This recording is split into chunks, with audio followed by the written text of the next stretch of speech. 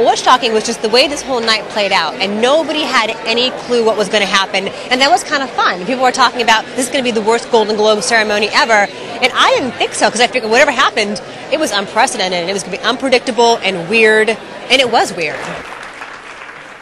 We all get sick and tired of hearing it, but can I just say one time, I want to thank my agents.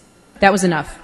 Okay. It was a fascinatingly odd event where, you know, the people who love to be the people who love to be the people who love to be the people who are in charge. Never in a million years did I ever think I would be saying, and the Golden Globe goes to, and never in a million years did I ever think I would be saying, now would you please welcome Mary Hart from Entertainment Tonight.